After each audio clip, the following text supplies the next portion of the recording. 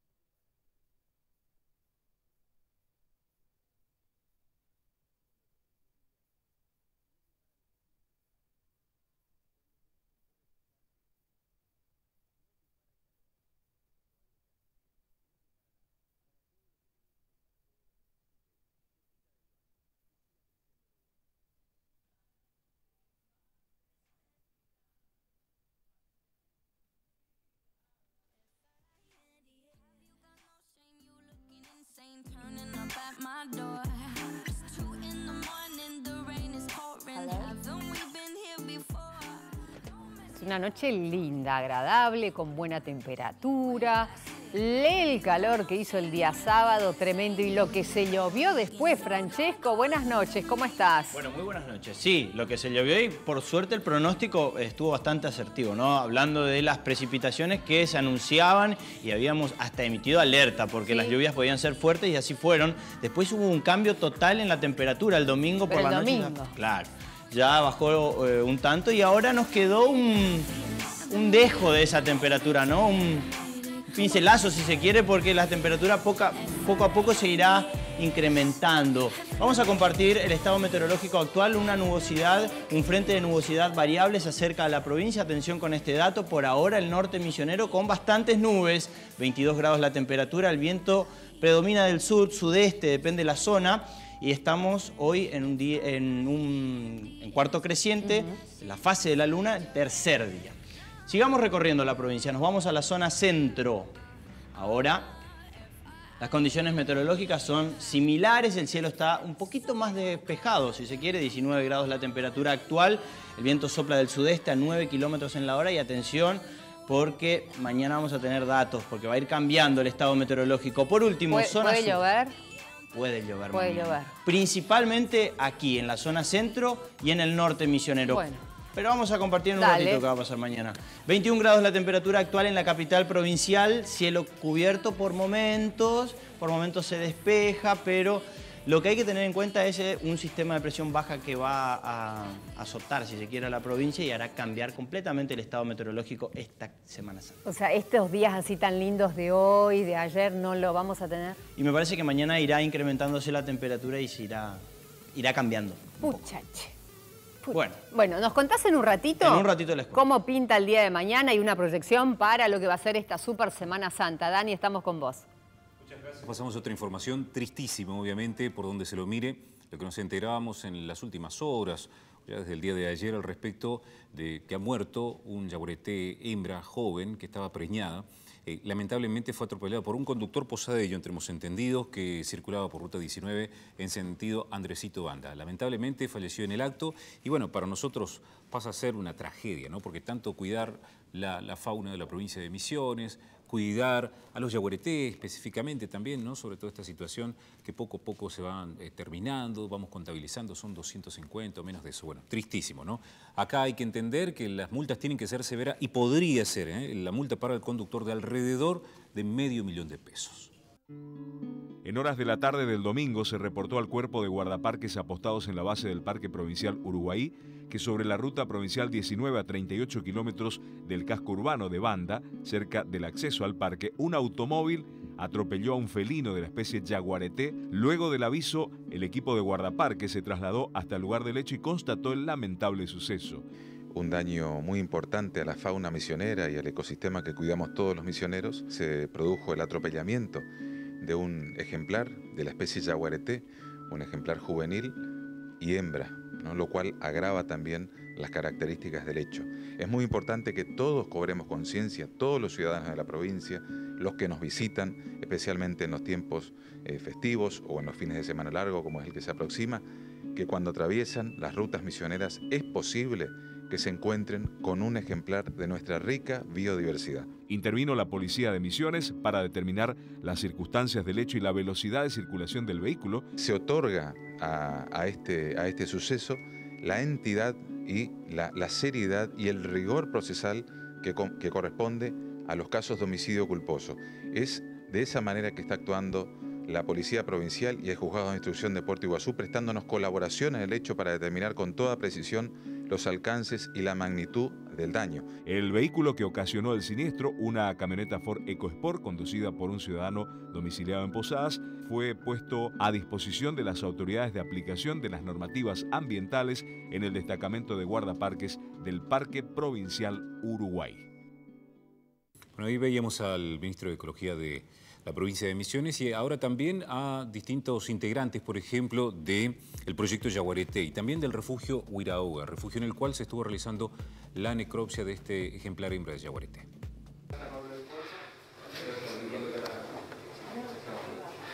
Estuvimos comparando ayer las, las fotografías a, a partir de los patrones de, de manchas de los animales y no, no lo encontramos en los registros que teníamos previos. Así que pensamos que es un, individuo nuevo, ¿no? No, ¿no? lo habíamos registrado en las cámaras de, los muestreos anteriores. Se hace una serie de, de, estudios y se, para confirmar un poco las lesiones que tuvo, el estado que, de, salud que tenía y bueno, ya que se ha muerto también lamentablemente, también sacar muestras que permitan estudiar el estado de la población, el estado sanitario también del animal. Un día negro para, eh, como dijiste vos, no solo para nosotros que estamos trabajando de cerca con esta especie tan emblemática, sino para todos los misioneros, para la Argentina, que ve como poco a poco se, nos está perdiendo, a pesar de todos los esfuerzos que se están realizando para su conservación, eh, simplemente mueren atropellados en las rutas. ¿no? O sea, algo tan simple como, eh, como eso, o sea, algo evitable. Distinto sería si, fuera de casa furtiva em, eh, u otras alternativas, pero atropellado en la ruta a, a tantos años de estar trabajando en intentar eh, intervenciones para evitar que esto pase, especialmente en áreas protegidas, es verdaderamente una vergüenza. Otro tema. Semana Santa decíamos y hay muchas ofertas en distintas ferias de la provincia y aquí en el mercado, concentrador, tenemos para compartir con ustedes en estos días. Por ejemplo, para Porque hay que hacer chipa, hay que hacer varias cositas. ¿eh? Empezamos con el queso cremoso, 75 pesos el kilo, re barato. Queso en barra, 90 pesos el kilo y queso criollo, 70, pesos el, kilo. A ver, otras ofertas. Esta es variedad de quesos, ¿viste? obviamente, que se ocupa mucho. Sí, sí. ¿Sí? Bueno, acá, masa para chipas, esto ya está preparado. Me gusta esta opción. Este es la mayoría, porque esto va al horno directamente. Claro, me encanta esta opción. Masa para chipas, 130 pesos el kilo. Sopa paraguaya, 90 pesos el kilo. Y la torta de choclo, esa me encanta. 90 pesos el kilo, en realidad. me encanta porque ya está hechito, ¿viste? Claro. Entonces no necesitas ¿La sopa paraguaya también? Huevitos de Pascua, de chocolate, desde, 10 pesitos hasta 250 pesos. Bueno, en el centro y en el centro de diferentes ciudades los precios se van, o sea, esto cualquiera de los dos es muy barato, ¿no? Sí. Harina de maíz, 35 pesos el kilo. Y si querés cocinar el almidón, qué barato, 40 pesos el kilo. Sí, es mucho Viste que hay gente que le gusta cocinar, es terapéutico. Sí. Así que, bueno, son ofertas del mercado concentrador zonal de la ciudad de Posadas. Sí. Pueden acercarse allí todos estos días. Todas las ferias de la provincia van a estar trabajando. Y mucho eh, durante todos estos días previos a la Semana Santa. Pero está bueno recordar. En la mañana vamos a seguir recordando otras ofertas. Claro eh, que sí. Para que se acerquen y puedan... Y que es más barato y buena calidad, ¿no? Sí, totalmente. Hablamos del Domingo de Ramos, que hubo mucha celebración en diferentes puntos de la provincia, obviamente también aquí en la capital Exactamente, porque distintos barrios se movilizaron y realizaron la tradicional procesión y bendición de Ramos. Para nosotros los cristianos esto tiene muy de mucha significación, el, hecho de asistir y de buscar... Eh, en el Señor nuestra salvación. ¿no? El Domingo Ramos es, es muy caro a nuestro sentimiento y bueno, participamos en la medida que podamos. ¿no?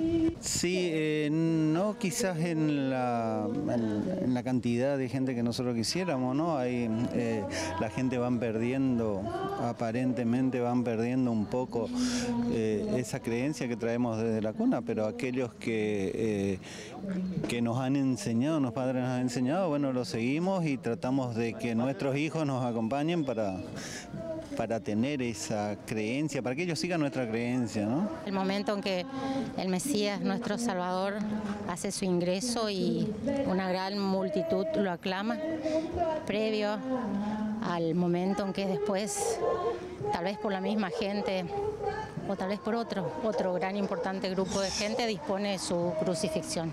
Es un gran momento para la Iglesia Católica. Y justamente este Domingo de Ramos tuvo coincidencia con el Día del Niño por Nacer. Y a eso ha hecho referencia Monseñor Juan Rubén Martínez, el obispo de la diócesis de Posadas, justamente sobre el pueblo en general de la diócesis, que lleva un signo externo, que es en esta Semana Santa la lucha a favor de la vida. Queremos rezar por la vida y en miles de capillas en nuestra diócesis, en centenares, miles de capillas en nuestra patria, se manifestaron también en este domingo de Ramos por decirle que sí a la vida. porque creemos, no porque es una cuestión solamente de fe, sino de recta conciencia, porque la ciencia lo dice, no como dicen por ahí los católicos o no. La ciencia dice que hay vida humana desde la concepción, desde que el óvulo es fecundado, desde el cigoto, hay vida humana. No es parte del cuerpo de la mujer, es una vida. Y creemos que nadie tiene derecho sobre esa vida. Tendremos que cuidar a la madre y sobre todo en aquellas madres que sufren situaciones muy duras y difíciles, es cierto, pero no podemos, nosotros sería tremendo, qué opción sería humanamente para una sociedad que no le importa la vida humana, qué contradictorio con este tiempo en el que hablamos tanto de los derechos humanos y por otra parte estaríamos matando el primer derecho humano que es el derecho a vivir. Cambiamos de tema, tenemos telón de fondo y lo que pasó y lo que va a pasar en esta Super Semana Santa nos cuenta Sergio Teto Pérez Llobet. ¿Cómo te va? Hola Alicia, ¿cómo estás? Muy bien, buenas noches. Buenas noches. Voy un poquito apurado porque en este momento sí. se está llevando a cabo el Día del Acordeonista. Claro, estuvieron todo el día de fiesta. Es ¿eh? cierto, todo el día, pero el festejo central será ahora a las 20 horas. ¿Te vas para allá? Nos vamos para allá, Ah. en el Teatro Lírico Parque El Conocimiento, más de 25 acordeonistas festejando su día. Algo que quieren instituir a partir de hoy, de este año. Porque no es una de las primeras veces que se festeja de tanta Claro. años anteriores no recuerdo que se haya hecho una celebración así. Claro, se lo recuerda a Nini Flores, que fue un gran Sí. acordeonista. Hoy es el día de su natalicio y a partir de hoy, sí, la idea es instituir el 26 de marzo para que quede como el día del acordeonista y se pueda festejar todos los años. Muy bien, lindo. Pero le cuento, además, el sábado estuvo de lindo. Bien, El tiempo estaba feo fuera. Tormenta, sí, sí, sí, sí. eh, granizo en algunos lugares, Sí, cierto. mucho viento. Sí. Pero en un lugar, ¿sí? en Maipú al 2260 ocurría esto. El grupo Revelación, que vino desde Río de Janeiro, realmente una banda muy, pero muy bonita que trae lo mejor de la samba y que a veces era impensable Mm. que llegara a Posadas, que llegara a Misiones, ¿sí? Porque tiene prestigio internacional. Además, estuvo bueno, quiero decir también que para este fin de semana está Bruno y Marrone en Puerto Iguazú. Cierto. Hay entradas todavía. Bien. ¿sí? Vale. Y mu- muchos otros shows que están programados y que van a llegar a la provincia de Misiones. Qué bueno. Pero ¿qué te parece si compartimos lo que ocurría el sábado aquí? Dale.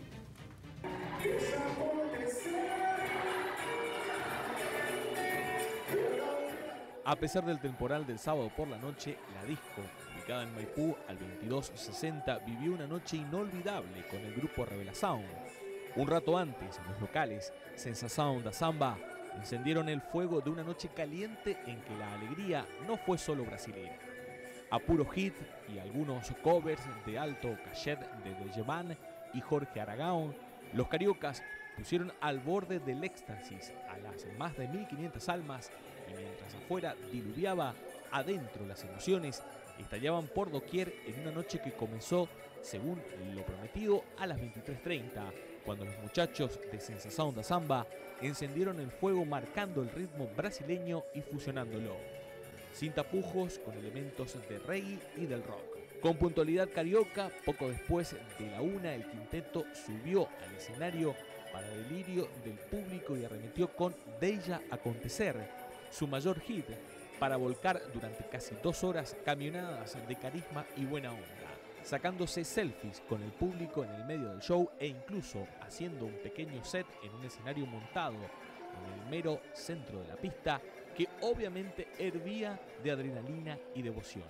Así, el grupo Revela Sound, uno de los principales exponentes de la música brasileña, pasó por el reducto de Villa Urquiza, convirtiéndolo por un rato en un boliche de Ipanema o Leblon.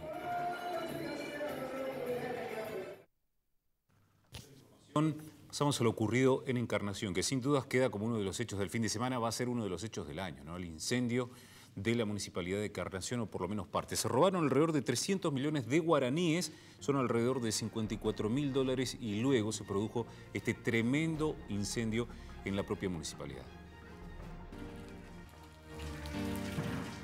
Un hecho de robo con posterior incendio en la municipalidad de Encarnación, Paraguay, produjo pérdidas por más de 180 mil dólares, unos mil millones de guaraníes. El hecho ocurrió en la madrugada del día domingo y causó cuantiosas pérdidas. Los malvivientes sustrajeron dinero, algo así como 54 mil dólares, unos 300 millones de guaraníes, de la tesorería del municipio. Lo robado corresponde a la recaudación del día viernes. El edificio está totalmente destruido, toda la parte administrativa, todo lo que tiene que ser con el sistema informático también es una gran pérdida para el municipio encarnaceno. En realidad que las cámaras que estaban dentro, justamente lo primero que hicieron es, tiene un sistema de DVR, creo que se llama el, procesador que, que, que guarda las la filmaciones o que tiene la memoria y eso fue justamente lo que también se llevó con el, con el robo, ¿verdad? Según las primeras averiguaciones, se trataría de un hecho de robo y posterior incendio intencional. Las fuentes revelaron que la caja fuerte del municipio fue violentada y se llevaron el dinero que había adentro. Estamos ante una situación, como ya lo hemos manifestado, de una intencionalidad en el incendio que afectó la planta baja de la administración municipal este, y que, bueno, por el momento el municipio va a estar funcionando en este, otras dependencias municipales para que de acá a corto tiempo podamos estar activando nuevamente en el edificio ya renovado seguramente. Pero vamos a reponernos, la ciudadanía, las autoridades creo que tienen toda la fuerza suficiente y la solidaridad para que podamos en muy poco tiempo tener nuevamente la institución funcionando a pleno. Esto van a resolver las autoridades pertinentes, la gente de la fiscalía. Ellos van a decir, eh, tengo entendido, ya están trabajando y ellos son los que van a, a clarificar este caso.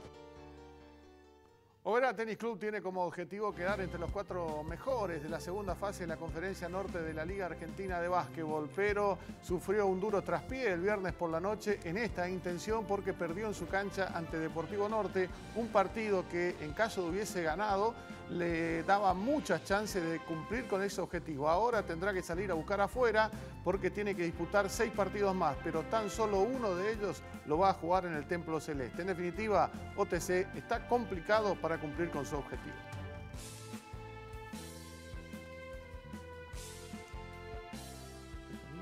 luego del pitazo final que marcó la victoria de Deportivo Norte de Armstrong Santa Fe ante OTC por 84 a 80.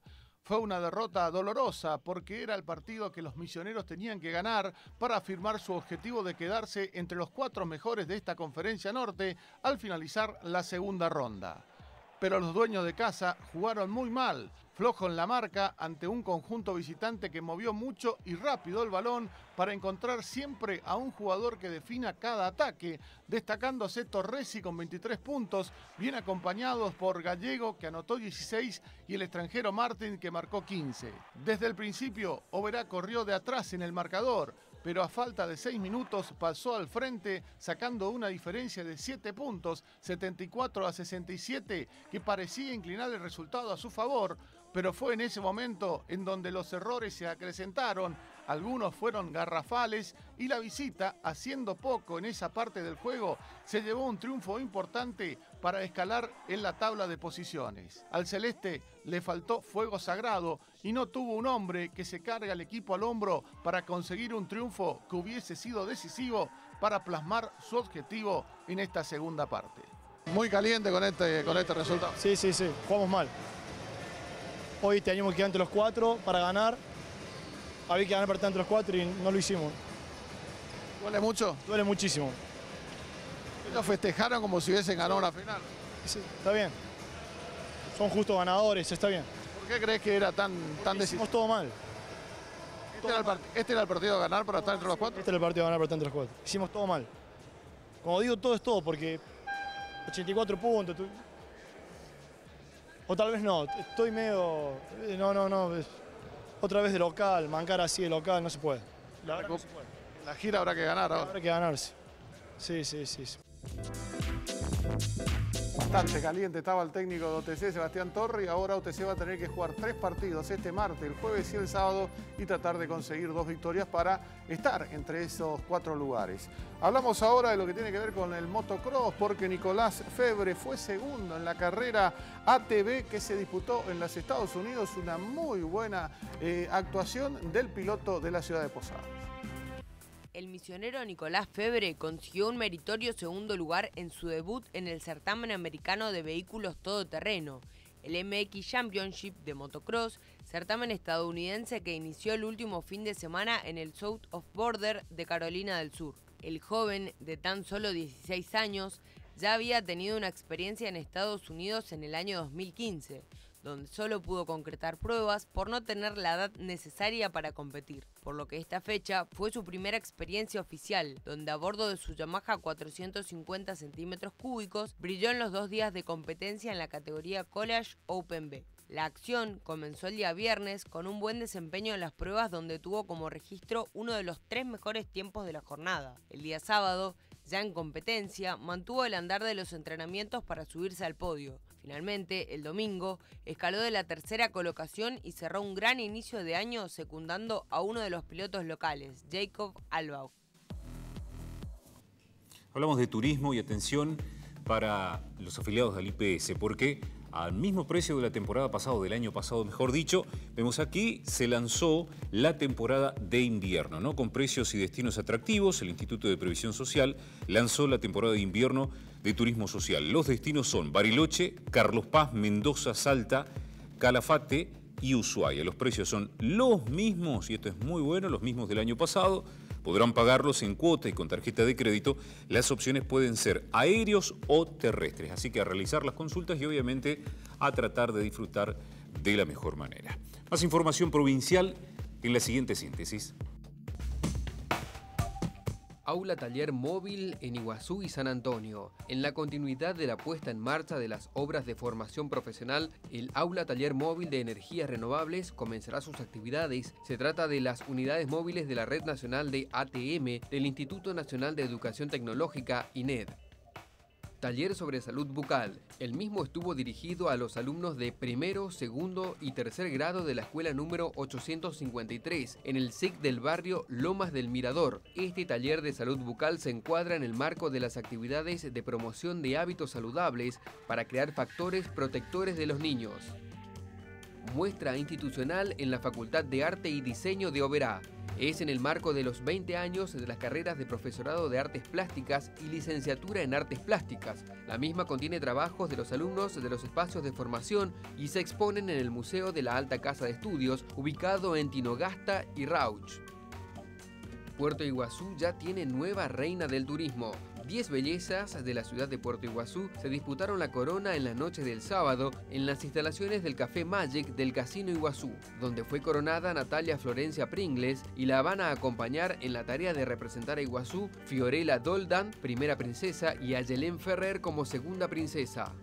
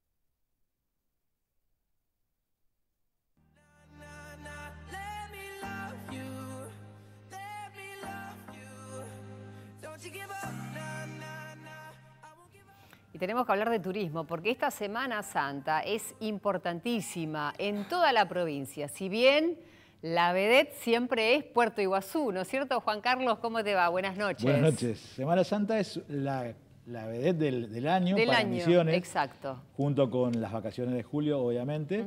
Pero Semana Santa siempre es una mini temporada que eh, promete marcar récord este año, por lo menos en cantidad de visitas.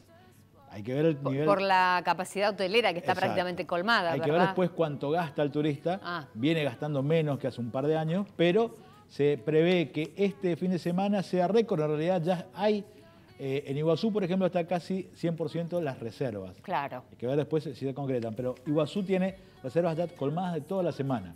Una Va a ser una semana... O sea, esto significa que hay mucha gente que se tomó semana completa y desde hoy ya está vacacionando. porque está hasta el lunes. Claro. No olvidemos el feriado del lunes. Sí, sí. Así que Iguazú casi 100% de reservas, pero en realidad va a ser para toda la provincia una gran temporada. En Posadas, que la- el año pasado tuvo una- un nivel de reservas del 40%, hoy ya está en el 60%. Epa, O sea, muy bien. Hay un 20% de incremento con respecto, eh, 20 puntos con respecto al año pasado. Claro. El soberbio tiene 80% en promedio de reservas, pero hay lodge que ya tienen totalmente colmada su capacidad. Los lodge más caros que por ahí apuntan al mercado internacional son los que ya están repletos, ya no tienen lugar. Pero hay lugar todavía, si quieren reservar de última hora, hay tiempo. Y hablemos de turismo y lo que significa después para el... Hablábamos el otro día de lo que significaba para el empleo y demás.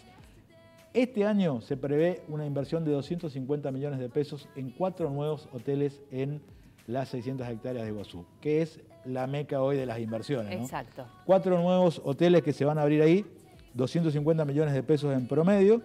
Aparte está el- la firma Globalia, que es de Madrid, que también va a gerenciar un hotel y va a poner otro. O sea, va- un hotel que ya está funcionando y lo va a, termi- va a terminar de poner otro. Otra inversión también importante. Lo que significa que le ha ido muy bien con el primero, si quiere hacer un segundo, digamos, Es- ¿no? exactamente. O sea, va- o sea, el turismo, ellos van a hacer eh, eh, conexión. Madrid, Río, Iguazú. Claro. No se sabe si van a llegar este año todavía, con el proyecto era para mayo de este año, no creo que lleguen, pero eh, por lo menos para el año que viene van a ser- va a estar la conexión eh, Madrid-Río y ahí Puerto Iguazú. Y Madrid abre una puerta eh, importante para otros destinos de- internacionales que también tienen destino eh, misionero. Se va a firmar un acuerdo en, en próximos, próximas semanas con China para eh, hacer un vuelo a través de Madrid hasta conexión con eh, China, Iguazú. España, Iguazú, más o menos así. Ese sería el- ah, el- pero es grosísimo, digamos, si se el llega a mercado ganar un chino. mercado así, eh, Claro. obviamente va a ser de muy fuerte impacto para Misiones con mucha, mucha cantidad de visitas. Y claro, si mucho- son millones, miles, cantidad- miles y miles de millones. Miles de millones. Y mucha cantidad de dinero también, que es lo que, que es importante. O sea que eso también obviamente va a atraer el turismo eh, internacional, que es el que eh, mayor cantidad de divisas genera. Porque hablamos del el empleo que se genera, ¿eh? la cantidad de gente que se necesita para cubrir, digamos, tantas plazas y además lo que gasta el turista. Claro. Hoy estamos hablando del turismo con casi el 11% del empleo formal en la provincia. Formal. Estamos hablando de eh, 11.000 empleados en el turismo, lo cual es eh, una de las principales actividades de la economía Alto. misionera. Alto Y porcentaje. Va en crecimiento, porque Iguazú ya no tiene tanto lugar para eh, nuevos hoteles. Hay que empezar a mirar en otros lugares y ahí, bueno, ahí juega el soberbio, Mm. juegan algunos lugares más cercanos a Iguazú, que todavía tienen ambiente selvático. Andresito, que tiene, Mm. eh, todavía conserva buena porción de monte. Hay inversores también internacionales buscando lugar ahí donde puedan instalarse. Con un, esquema distinto, no es un hotel eh, masivo, sino más bien de servicio exclusivo y demás eh, en, en con- en el contexto selvático. Dale. Pero sigue siendo eh, un una actividad para atraer inversiones y, y generar empleo. ¿Usted viaja? Que Eh, estamos. viajaremos, sí, sin duda. Viajaremos, muy Eh, bien. Viajaremos, creo que todos viajaremos El jueves un poquito salimos, el jueves cuando salimos. podemos. Dani, ¿vos viajás, Dani? Sí, también. Todos vamos a viajar. Y para aquella zona. Todos vamos- viajamos. creo que vamos a ir todos para la misma zona también. Nos aquí- encontramos allá. Pero aquí en la provincia de Misiones. Claro. Hablamos de la provincia de Misiones y quien va desde la capital para aquella zona pasa por Puerto Rico aquí. El que quiere visitar el mercado concentrador también lo puede hacer porque los feriantes van a estar trabajando, abriendo sus puertas para estas Pascuas. Son alrededor de 40 los productores que van a estar en ese mercado concentrador de Puerto Rico ofreciendo sus productos muy buenos que van directamente de la chacra al consumidor sin intermediarios. Desde su apertura, el mercado concentrador de Puerto Rico se convirtió en un punto obligado para adquirir productos frescos, de calidad y a buenos precios. A cinco meses, digamos, estamos, estamos contentos de- del funcionamiento del mercado. Y sí, producción de la zona, la gente ya conoce los productos, así que están contentos con ellos y se hay bastante movimiento. ¿Y a qué precio? Mm, Más o menos el queso de mm, criollo está en 155 pesos y después también hay un queso criollo sin sal que está en 120 pesos. Actualmente el mercado es administrado por el municipio sin ningún tipo de costo para el productor. Estamos muy conformes, por, sobre todo porque hemos hecho conocer la calidad de la carne que producimos en el departamento. Tenemos un grupo piscícola que eh, está el Alcázar, Caraguataí, Garuapé, Dos Macho. Y bueno, ellos me dieron la idea y, aparte de eso una ayuda del, eh, para hacer los piletones de parte del gobierno, del Ministerio del Agro. Primero era medio por hobby nomás, empecé a criar porque siempre me gustó. Y bueno, después vi que podía ser una, una alternativa, una alternativa de, de trabajo, ¿sí? Para esta semana se prevé una serie de actividades, con miras a considerar la posibilidad de que más días él mismo abra sus puertas para atender a sus clientes. Y jueves y sábado se va a abrir mañana y tarde en los horarios que le había mencionado, 7.30 a 12.30 y de 17 a 21 horas. Y bueno, el Viernes Santo se va a abrir por la tarde, 17 a 21 horas. Se va a incorporar la, actividad de artesanos eh, acá en la ciudad de Puerto Rico que se realizaba siempre en, la, famosa carpa blanca al lado de la municipalidad. Bueno, este año eh, lo- los artesanos van a estar participando también con, la actividad acá en el predio al mercado concentrador. Por supuesto, incorporar más productores, incrementar la producción es el desafío, ya que la demanda hoy por hoy supera la oferta.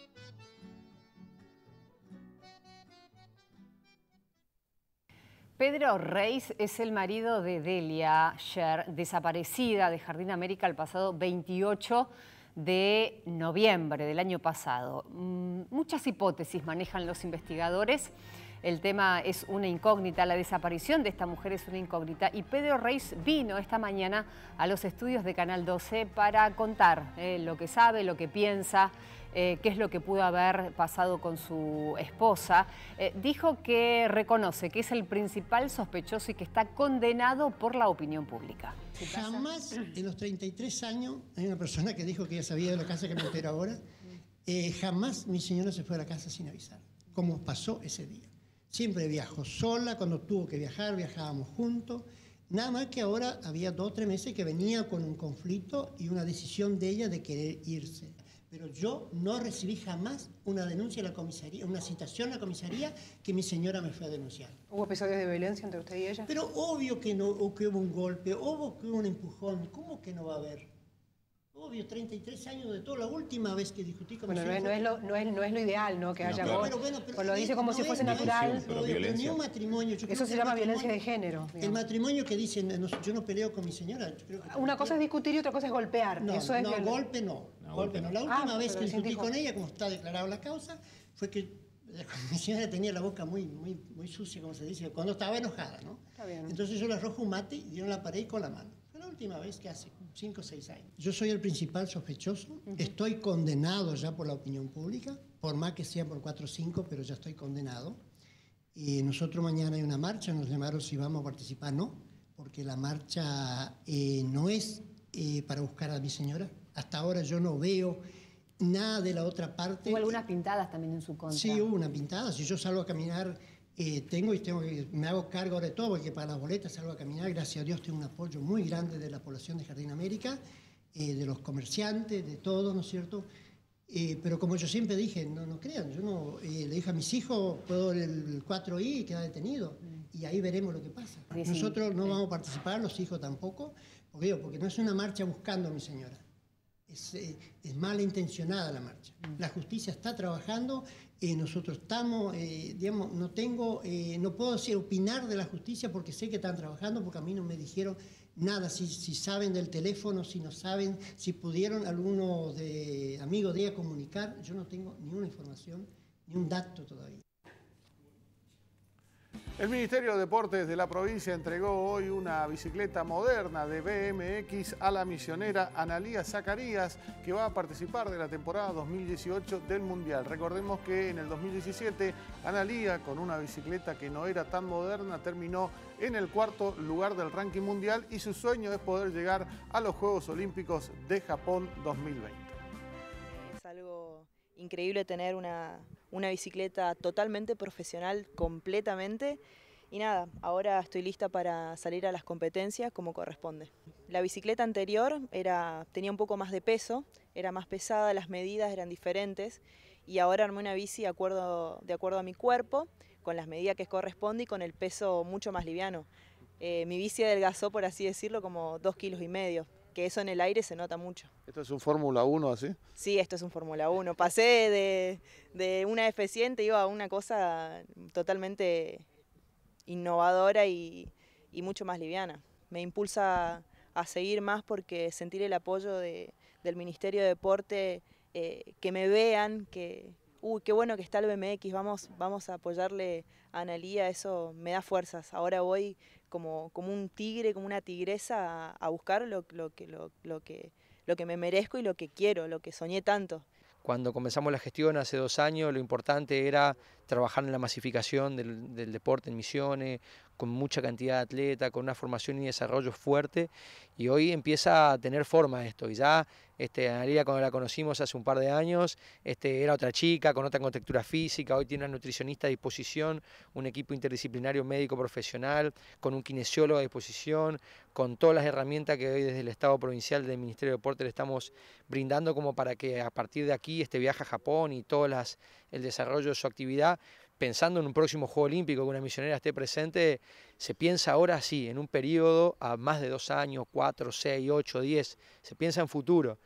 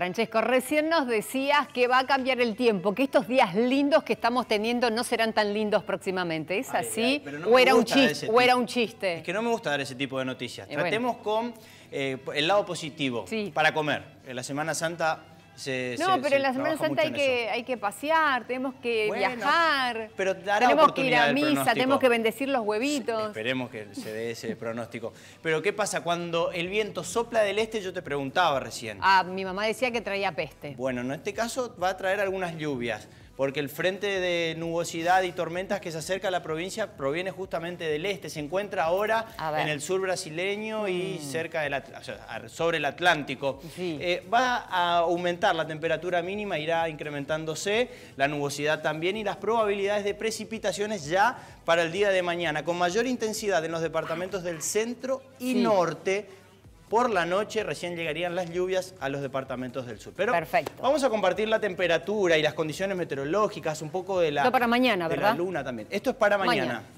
La luna en su fase cuarto creciente, estamos en el norte, cuarto creciente, mañana es el cuarto día y en el norte misionero la temperatura oscilará entre los 18 de mínima y 26 de máxima, templado por la mañana a cálido por la tarde, con probabilidades de precipitaciones durante toda la jornada y atención con este dato, ¿no? Porque después de estas temperaturas uno diría no va a llover, pero sí va a llover. Lo mismo va a suceder en la zona centro durante toda la jornada, se esperan lluvias, temperatura que oscilaría para mañana entre los 17 de mínima y 25 de máxima. Viento acá está, mira. Viento del este a 20.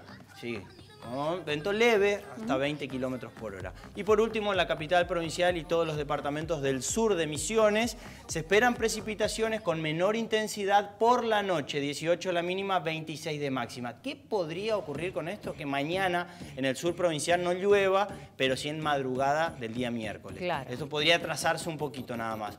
Eh, pero estas son las condiciones meteorológicas para mañana. Por suerte, mañana se trabaja, digamos. Mañana, Que llueva mañana y pasado, que- no, bueno, pero que mejore para los otros días, me parece, no jueves, No, sí, viernes, donde los planes ya son un poco más complejos. Tenés razón. Vamos a ver. Dani. Muchas gracias. Hablamos de 10 municipios de la provincia de Misiones que recibieron ambulancias de alta complejidad que van a ser utilizadas obviamente en siniestros cuando se los requieran. Algunas de ellas son, por ejemplo, San José, también Gobernador Roca, Santa Ana y San Pedro, algunas de estas localidades.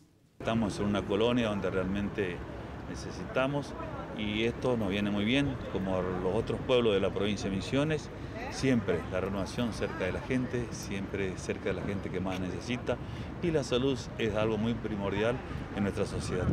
Y ya nos hacía falta renovar la unidad porque hay momentos donde realmente no está haciendo falta y esto nos viene muy bien porque con esto vamos a cubrir todo lo, lo- la necesidad de la gente. Muy contento, Bernardo Irigoyen, porque estamos en una zona muy alejada a lo que es alta complejidad, que es El Dorado, así que son 130 kilómetros, donde tenemos muchos viajes, 5 o 6 viajes que vamos al Dorado todos los días. Entonces, para nosotros es muy importante hoy contar con esta ambulancia. Eh, agradecemos al gobernador realmente por acordarse de esa zona norte, que eh, por ahí estamos un poco alejados las altas complejidades. Y bueno, hoy para nosotros esta ambulancia eh, algo esencial para lo que es el departamento General Belgrano, para que esté en la red de salud pública, así que ahí está San Antonio al lado también, a 30 kilómetros, así que estamos también cerca de San Pedro, Pozo Azul, así que bueno, una zona bastante grande que todos vamos a parar al Dorado. Y bueno, hoy esto es muy importante para nosotros. En primer lugar, le queremos agradecer a nuestro gobernador que se preocupó de, de tanto pedido que tenemos, ¿no es cierto?, de, pedir las ambulancias. Sabemos que somos muchos municipios y la verdad estamos muy agradecidos con el equipo de salud pública de traer una nueva unidad para, para San Pedro, ¿no?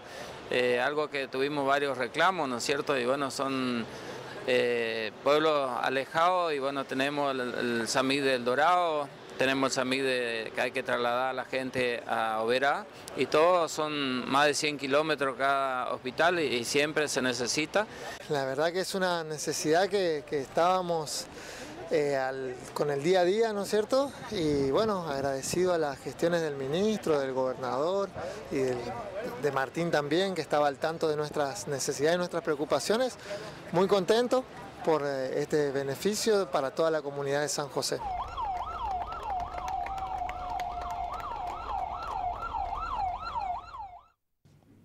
La Semana Santa es para desacelerar motores. Esto lo dijo el obispo de la diócesis de Oberá, Damián, Damián Vitar, eh, en el marco de la celebración del inicio de la Semana Santa. También hizo referencia a uno de los temas que se discute en todo el país, que es la despenalización del aborto. Creo que la Semana Santa es una semana para desacelerar motores. Siempre comentamos entre nosotros que en nuestra ciudad, pero en general en el mundo entero, se maneja muy rápido. Por eso hay demasiados accidentes. Apliquemos esto a la vida personal y familiar. Estamos demasiado acelerados. Justo nos toca abrir la Semana Santa con la celebración de la Jornada del Niño por Nacer, 25 de marzo, donde se celebra una fiesta cristiana, que es la fiesta de la Anunciación del Señor y debemos ser en esto claros y sinceros. Toda vida vale, ni una menos, ni uno menos, desde el primer instante de la fecundación hasta el último momento de la vida. Podrán hacer todas las leyes que quieran, podrán cambiar hasta la constitución si quieren, pero legal o ilegal, el aborto siempre es un crimen. Aquí no hay que pelear con nadie. Discutamos, debatamos, pero yo invito a toda persona de buena voluntad, cristiana o no, porque acá hay un tema de derecho humano, más allá de una posición religiosa, que nos apasionemos por la vida, que esto que se está debatiendo o se va a comenzar a debatir nos lleve a apasionarnos por la vida de punta a punta.